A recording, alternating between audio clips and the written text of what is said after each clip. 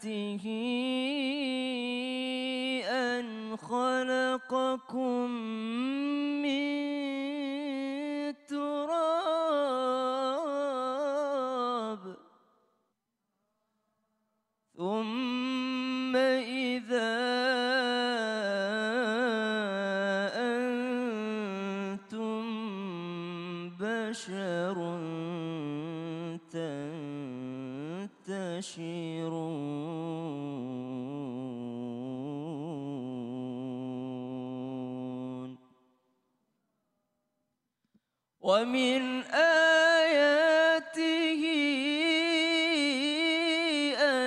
خلق لكم من أنفسكم أزواجا لتسكنوا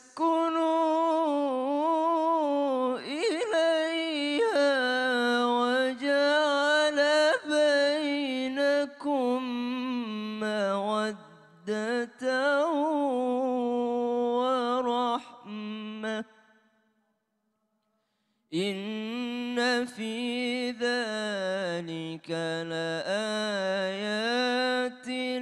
لقوم يتفكرون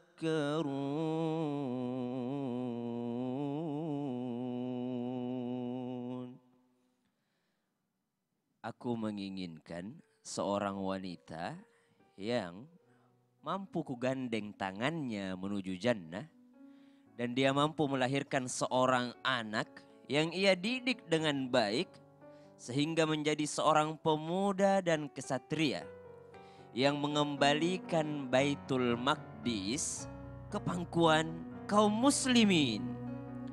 Itu wanita yang aku cari. Kata seorang pemuda bernama Najmuddin Ayub. Wahai kawanku, kata sahabatnya.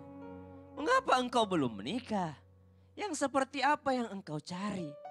Begini saja, aku punya kenalan anak seorang sultan, anak seorang malik, anak seorang raja. Maukah engkau aku kenalkan kepadanya? Dia adalah seorang putri yang soleha. Dia adalah seorang yang dekat dengan agama. Boleh, kata Najmuddin. Tapi apakah dia akan memiliki visi yang sama denganku? Kriteria apa yang engkau cari?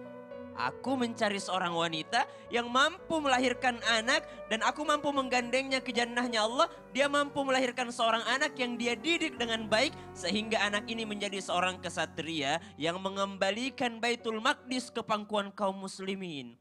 Kita mau cari di mana yang seperti itu wahai saudaraku. Kata sahabatnya, namun Najmuddin terus meminta kepada Allah. Wahai sahabatku, tidak ada yang tidak mungkin kalau kita meminta kepada Allah. Sedetail apa pun doa kita, kalau kita ikhlas berdoa kepada Allah subhanahu wa ta'ala. Dan Allah sudah takdirkan itu kepada kita, insya Allah aku pasti dapat. Dengan rasa optimis dalam hati Najmuddin terus berdoa kepada Allah, terus ikhtiar di jalan Allah Subhanahu wa taala sampai suatu hari Najmuddin Ayub berada di dalam suatu majelis dalam masjid. Dia mendengar seorang syekh sedang berbincang dengan seorang wanita. Ada empat, ada apa engkau datang ke masjid ini? Sudahkah engkau menikah? Kata wanita tersebut, mohon maaf wahai syekh. Pemuda yang kemarin engkau utus, aku tolak pinangannya. Loh kok kamu tolak pinangannya? Dia adalah seorang pemuda saleh. Dia adalah seorang pemuda soleh yang aku kirimkan kepadamu. Apalagi yang engkau cari wahai seorang putri yang soleha. Wahai syekh maafkan aku tapi aku tidak setujuan dengannya. Apa tujuanmu sebenarnya? Aku sedang mencari seorang lelaki yang mau menjadi suamiku, yang mau menggandeng tanganku ke jannah dan dia akan mendidik seorang anak yang kelak menjadi seorang pemuda dan kesatria yang mampu mengembalikan Baitul Maqdis ke pangkuan kaum muslimin. Didengarkan oleh se seorang pemuda bernama Najmuddin Ayyub. Datanglah Najmuddin Ayyub mendekati seorang syekh. Syekh, nikahkan aku dengan wanita itu. Yakin dari mana kamu dia akan menerimamu? Dia pasti akan menerimaku wahai syekh. Dia adalah seorang wanita yang dikirimkan Allah untuk menikah denganku wahai syekh. Tidak akan pernah tertukar jodoh wahai syekh. Nikahkan aku dengannya. Ketika mereka menikah, Saling mengutarakanlah alasan kenapa mereka saling menikah. Saya menikahimu karena aku tahu aku mampu menggandeng tanganmu ke jannah. Berkata Najmuddin kepada istrinya setelah menikah. Aku mampu menggandeng tanganmu ke jannah dan engkau akan melahirkan seorang anak yang menjadi pemuda dan kesatria. Yang mampu mengembalikan Baitul Maqdis ke pangkuan kaum muslimin. Berkata sang istri, aku pun menerimamu sebagai suamiku. Karena aku tahu engkau mampu menggandeng tanganku menuju jannahnya Allah. Dan engkau mampu untuk melahirkan seorang anak, mendidik seorang anak. Sehingga dia menjadi pemuda dan kesatria yang mengembalikan Baitul Maqdis ke pangkuan kaum muslimin. Dan Allah takdirkan mereka akhirnya melahirkan seorang anak yang mereka didik sehingga besarnya menjadi seorang yang kita kenal Salahuddin Al-Ayyubi. Seorang pemuda kesatria yang sampai sekarang kita dengarkan kisahnya, yang sampai sekarang digaungkan namanya. Seorang yang mampu menaklukkan yaitu Baitul Maqdis mengembalikan kepada kaum muslimin. Bukan hanya itu beliau digaungkan namanya sebagai seorang yang mampu mengembalikan kejayaan kaum muslimin. Seorang pemuda yang mampu menaklukkan ratusan ribu daripada pasukan kafir daripada kaum-kaum yang tidak bertanggung jawab dia mampu untuk mengembalikan semangat kaum muslimin dan mengembalikan kejayaan kaum muslimin. Lihat, ketika Allah berfirman dalam surah Ar-Rum, "Wa min ayatihi an khalaqakum min turab thumma idza antum basyarun tantashirun." Allah menciptakan kalian sebagai manusia. Kalian bertebaran di atas bumi, namun Allah menciptakan min anfusikum azwaja. Allah ciptakan bagi kalian seorang pasangan. Masya Allah. Kisah Salahuddin Al-Ayubi. Al-Ayubi. Al-Ayubi. Sangat Betul. menginspirasi ya Ustadz ya. Jadi yang kita ceritakan bukan Salahuddin ya, Salahuddin ya. tapi orang tuanya Najmuddin Ayyub. Nah di sini kan Ustadz berkata, Nah. aku menginginkan seorang perempuan yang akan kugandeng menuju jannah. Uh, Terus Ustadz nunggu apa lagi? Insya Allah itu juga doanya berarti. Kan baru terinspirasi hari ini dari Jadi sebenarnya kriterianya seperti apa sih Ustadz nih biar jamaah banyak pengen tahu nih. Ayo pengen, pengen tahu kan? Apa kriterianya? Ya Allah gimana ya. Berat juga nyebutinnya ya. Jelas seperti yang disebutin guru-guru kita tadi.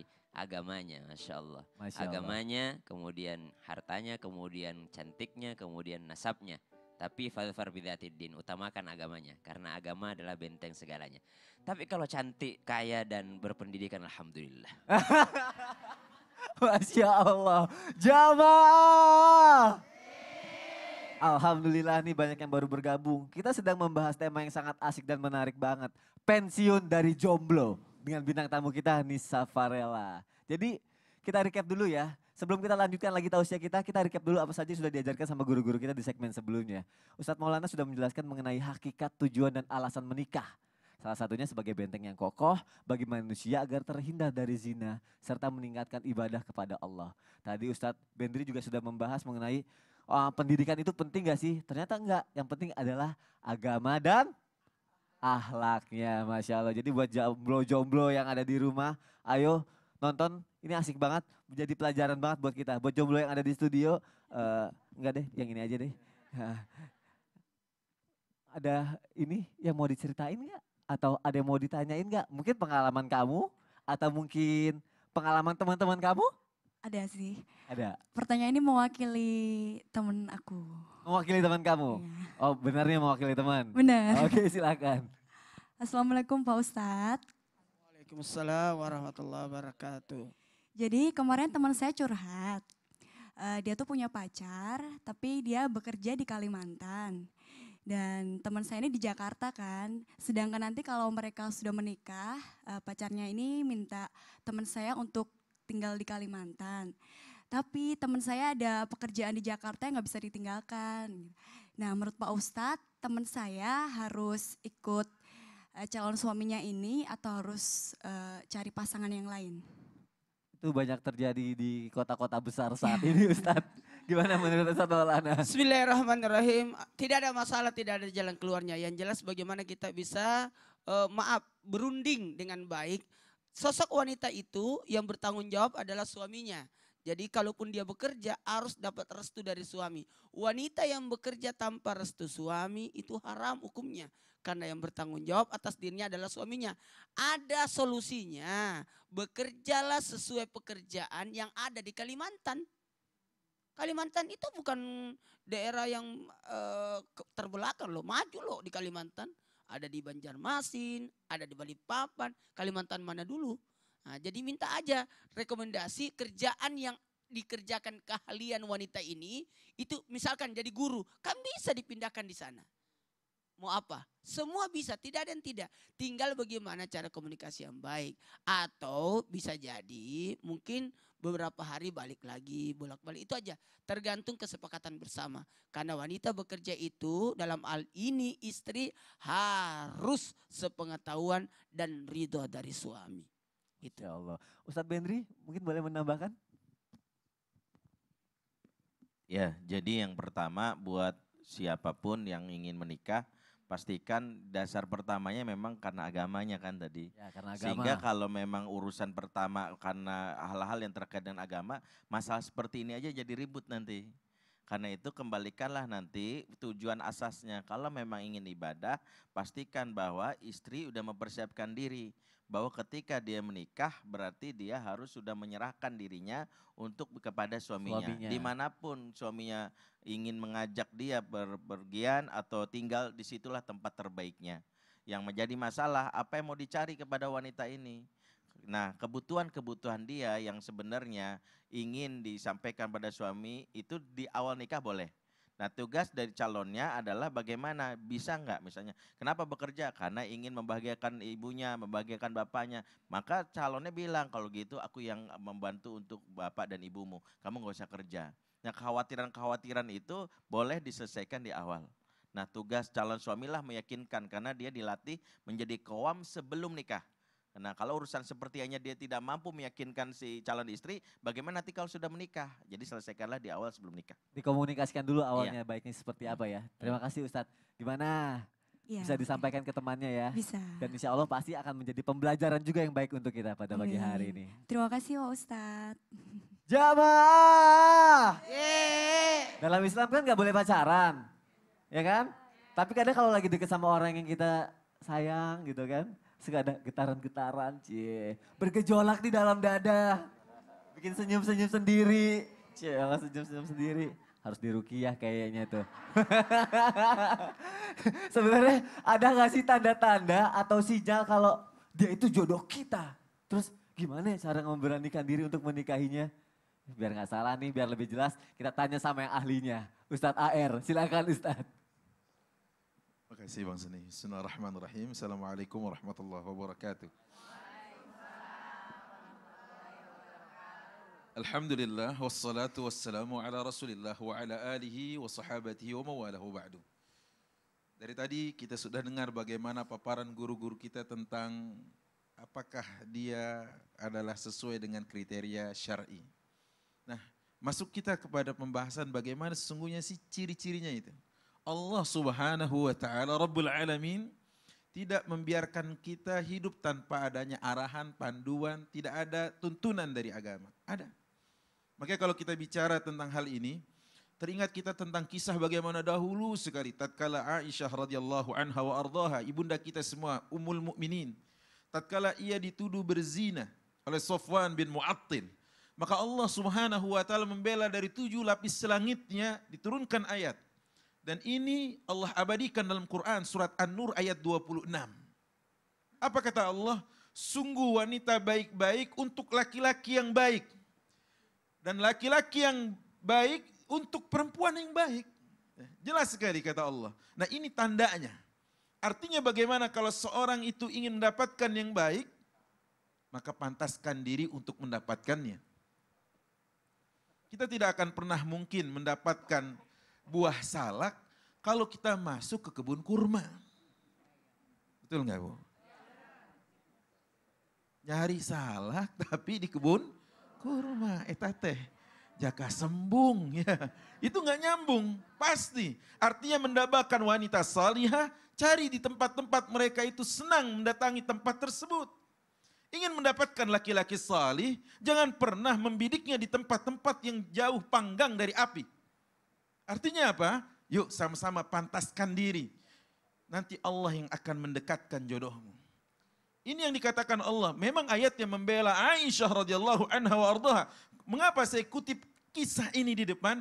Karena Allah subhanahu wa ta'ala menurunkan nama Aisyah lewat Jibril untuk Rasul Shallallahu Alaihi Wasallam. Artinya dengan segala tuduhan yang dialamatkan kepadanya bahwa dia penzina, wanita yang tidak baik, itu semua ditepis oleh Allah Subhanahu Wa Taala. Karena nama ini aku yang pilih untuknya. Nah makanya kita kan bukan nabi ya bu ya. Kita kan bukan rasul ya. Maka kita nggak bisa ada satu nama yang turunkan oleh Allah lewat Jibril untuk kita. Nggak bisa. Siapa kita gitu ya. Nah, namun ada caranya. Pantaskan dirimu sehingga nanti Allah yang mendekatkan jodohmu. Setelah itu adalah lakukan hal-hal yang dilakukan atau dituntunkan oleh agama ini. Istikharah, kemudian istisyarah. Apa itu istikharah? Talabul khair, meminta yang terbaik kepada Allah. Bagaimana doanya? Ya kan? Kita tahu sholat sunnah dua rakaat. Allahumma inni astakhiruka. Ya Allah, aku meminta kebaikan kepadamu wa astaqdiruka dan aku meminta ketetapanmu. Fa innaka takdir wala aqdir wa ta'lam wala a'lam. Engkau maha berkehendak, aku tidak berkehendak dan engkau maha tahu, aku tidak tahu apa-apa. Boleh jadi nih kita sudah bidik kayaknya dia nih ya. Kayaknya dia kita incer gitu. Enggak tahunya bukan. Wa asa an takrahu syai'an wa huwa khairul lakum. Wa asa an tuhibbu syai'an wa huwa syarrul lakum. Wallahu ya'lam wa antum la ta'lamun. Boleh jadi menurutmu itu tidak baik, menurut Allah baik. Boleh jadi menurutmu baik sekali. Kata Allah itu tidak baik. Dan Allah maha tahu sementara engkau tidak tahu. Makanya doa istikharah itu apa? Ya Allah, jika dia baik untukku. Nah kan? Agamaku, duniaku, akhiratku, cepat atau lambatnya, maka dekatkan dia untukku, untukku dan dekatkan aku untuknya atau kepadanya. Itu doa istikharah yang baik. Tapi juga jangan ngoyo. Namun jika dia jodoh orang lain, jadikan aku orang lain tersebut. Itu enggak, enggak, itu ya memang sih benar sebelum bendera kuning berkibar. Tapi kan ingat dunia ini tidak selebar daun kelor, betul ya? Ingat loh bahwa eh, apa namanya kumbang itu tidak satu ekor dan ingat juga bahwa bunga tidak sekuntum. Artinya apa? Proses pencarian pun harus di apa namanya ditambah lagi semangatnya. Hasil istikharah kayaknya nggak mantap ini. Bagaimana caranya? Bahwa Allah menjauhkan kita sejauh dan masyurkain, sejauh timur dan barat. Kenapa? Menurut Allah tidak baik. Ya. Cirinya adalah dia bisa menentramkan kita lewat agama. Iya, karena dia itu dari awal sudah bisa misalkan menjaga kehormatan. Ini dia. Yang kedua apa lagi? Dia bisa memahami nanti bahwa dia memang jodoh kita memahami. At-ta'aruf bit-tafahum. Kenal untuk saling memahami. Yang ketiga adalah at-ta'awun ala ibadatillah.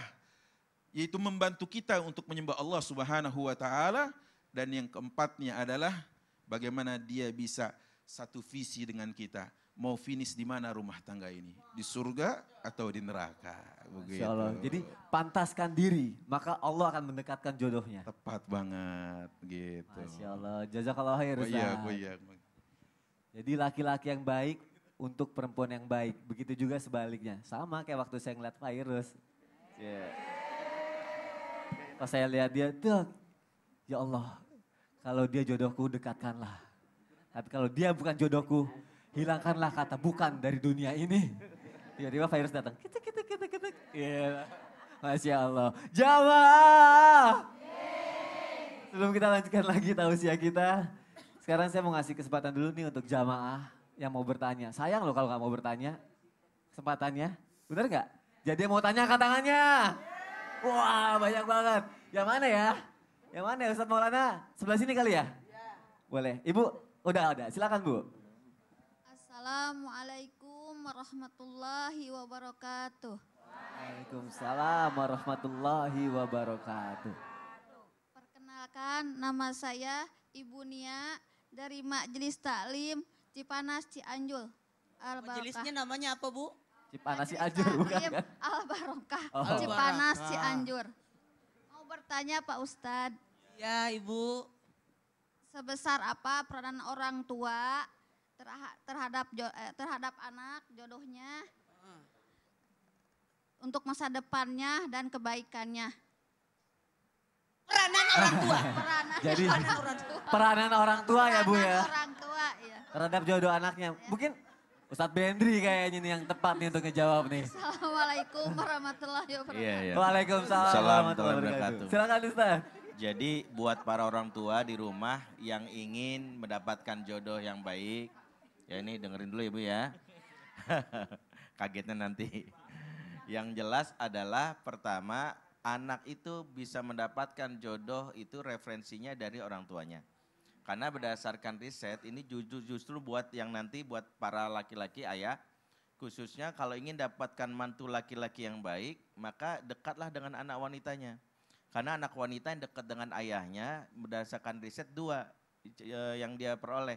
Pertama kalau dia mencari suami ingin seperti bapaknya. Ya, jodoh kamu kayak siapa? Kayak papa, ya. Tipe 90 ya, beratnya 90 maksudnya. Kalaupun ini kayak Ustaz air. Yang kedua, kalaupun bukan kayak papahnya minimal pilihan papahnya. Nah, pilihan papahnya. Papa maunya sama ini, gitu. Silahkan. Nah, inilah yang harus dipahami oleh setiap para orang tua. Begitu juga kalau ibu ingin mendapatkan mantu perempuan yang baik, yang ibu ya harapkan, jadikan itu dekatlah dengan anak laki-lakinya. Semua seperti itu. Jadi peranan orang tua adalah dari awal tuh dekat. Makanya buat para bapak-bapak justru ini yang jadi sering saya temukan. Jika tidak dekat dengan anak wanitanya, siap-siap menerima calon mantu yang menyesakkan dada. Nah ini bahayanya. Jadi dekat-dekatlah. Karena Rasul lihat bagaimana Fatimah. Fatimah itu mendapatkan Ali itu nggak sembarangan. Mulai dari Abu Bakar sudah melamar. Abu Bakar melamar ternyata di, de- ditolak. Padahal dia kaya dan soleh. Imannya nggak diragukan. Umar kaya, soleh juga ditolak. Tapi Ali datang miskin.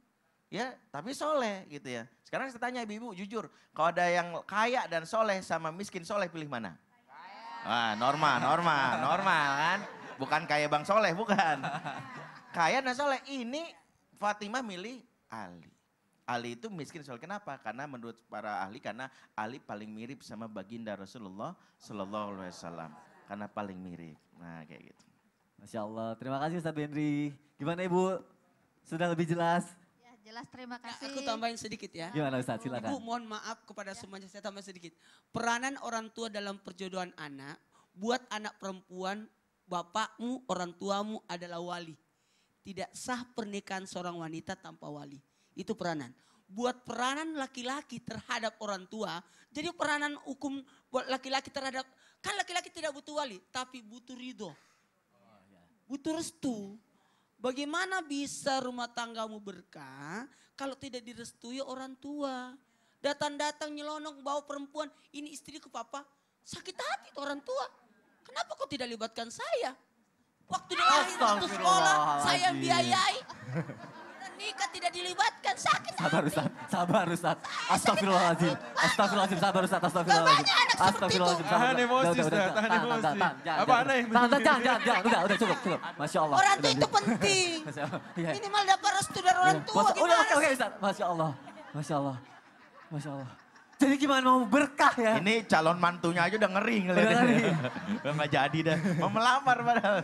Kalau gini sih nggak akan dapat mantu yang menyesakkan dada ya Ustadz ya. Jadi Bu, gimana mau berkah kalau nggak dapat restu dari orang tua? Jadi harus dapat restu dari orang tua dulu ya Ustadz. Mana sah kalau tidak ada eh, wali? Walinya juga, Masya Allah. Jamaah. Kita akan lanjutkan lagi pembahasan kita semakin asik, semakin menarik. Nanti kita akan masuk ke segmen Yuk Baca Qur'annya bareng Ustadz Syam dalam surat Al-An'am ayat 161 sampai 162. Dan juga ada tausiah dari Ustadz Bendri lagi. Jadi jamaah yang dimuliakan Allah, jangan ke mana-mana. Tetap di Islam itu indah. Jamaah, oh jamaah. Alhamdulillah.